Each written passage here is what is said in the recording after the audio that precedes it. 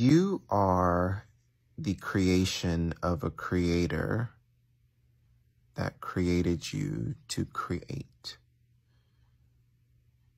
You are the creation of a creator that created you to create.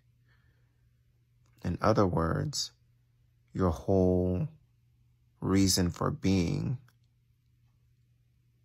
gives you the ability to create something to be of service to the collective of the human experience, right?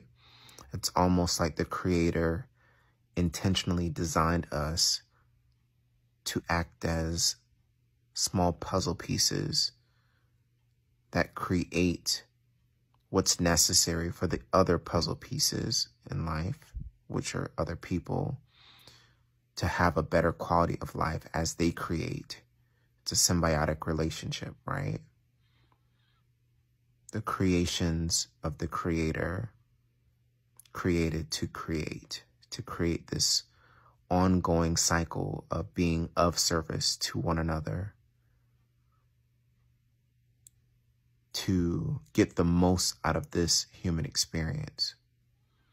We lost track of that because of the systems that have been designed to quote unquote increase our quality of life or improve our quality of life.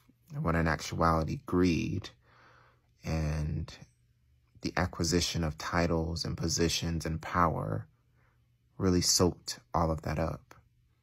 So instead of creating as we were designed to create, we produce in order to make others have a better quality of life.